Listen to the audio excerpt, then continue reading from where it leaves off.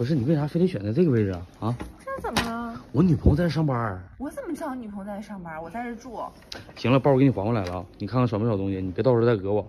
怎么，女朋友和好了？和好啥呀？因为你那事儿，她现在已经不跟我过了，你知道吗？你知道我当时追她多费劲吗？我能帮你俩和好，你信不信？就你呀，你不添乱就不错了。解铃还须系铃人，你听没听过这句话？但你得帮我个忙，你自己想一想。你先说，我帮你什么忙？你装我一天男朋友？装你一天男朋友？你疯了吧？我俩还没和好呢，那也不行啊！帮我甩开一个人，你自己想想吧，要不干啥呢？哎，媳妇儿，我包落我这儿，我给他还回来。啊，你俩上我单位来恶心我？不是不是，你别多想，不是你想那样的。嫂子，这都是误会啊！你坐下，你听我说行吗？咱们正好解释一下。